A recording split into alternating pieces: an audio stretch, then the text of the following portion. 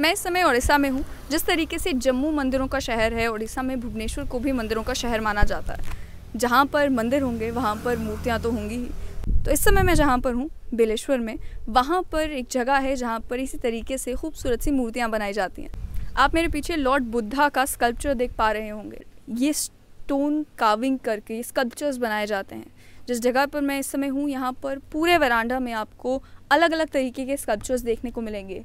ये गणपति की मूर्ति हो, लक्ष्मी माँ की मूर्ति हो, भगवान शिव की मूर्ति हो, लॉर्ड बुद्धा की मूर्ति हो या उसके अलावा राधा कृष्ण की मूर्ति हो और कई सारी वो मूर्तियाँ जो बाद में मंदिर में स्थापित होती हैं, वो यहीं पर बनाई जाती हैं। तो इन, इस समय तो इन मूर्ति को आप अनफिनिश्ड शक्ल में देख रहे हैं अनफिनिश्ड इस तरीके से कि इसको फिर पेंट किया जाएगा। उसके बाद इसे इस तरीके का बनाया जाएगा कि इसकी मंदिर में स्थापना हो।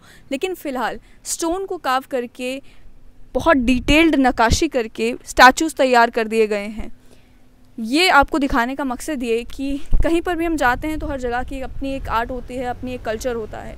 ये स्टैचूज़ आपको दिखाने का मकसद ये कि ओडिशा का आर्ट से बड़ा करीबी रिश्ता है। करीबी रिश्ता इस तरीके से कि आप किसी भी डिस्ट्रिक्ट में चले जाएँ, किसी भी रीजन में चले जाएँ, हर जगह आपको अलग अलग तरीके के आर्टिस्ट अलग अलग तरह के कला का प्रदर्शन करते हुए नज़र आएँगे। हमने आपको रघुराजपुर भी दिखाया जहाँ पे पट्टचित्र और पोथी चित्र बनाया जाता है। वहाँ पर भी कई सारे ऐसे आर्टिस्ट हैं, हालाँकि ये परिवार बहुत कम रह गए हैं जो अभी भी स्टोन काविंग करते हैं। उसका कारण आप इस राधा कृष्ण की मूर्ति को जब ध्यान से देखेंगे तो आपको समझ में आएगा।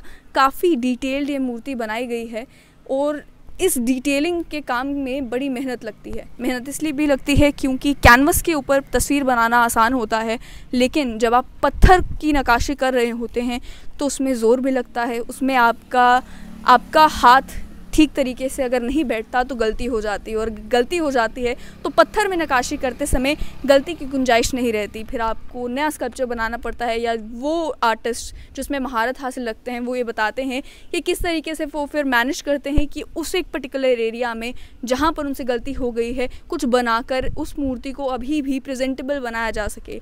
तो इस परिसर में जहाँ पर मैं अभी हूँ, यहाँ पर पूरे वरांडा में कई सारी मूर्तिज़ बनाई गई हैं। और यहाँ पर लोगों को ये भी कहना है कि भगवान भगवानों की मूर्तियाँ ज़्यादा इसलिए बनाई जाती हैं क्योंकि यही मूर्तियाँ लोग ख़रीदना पसंद करते हैं, अपने पूजा रूम में लगाना, अपने घरों में लगाना पसंद करते हैं और यहीं से मूर्तियाँ जो हैं वो मंदिर में भी ले जाई जाती हैं।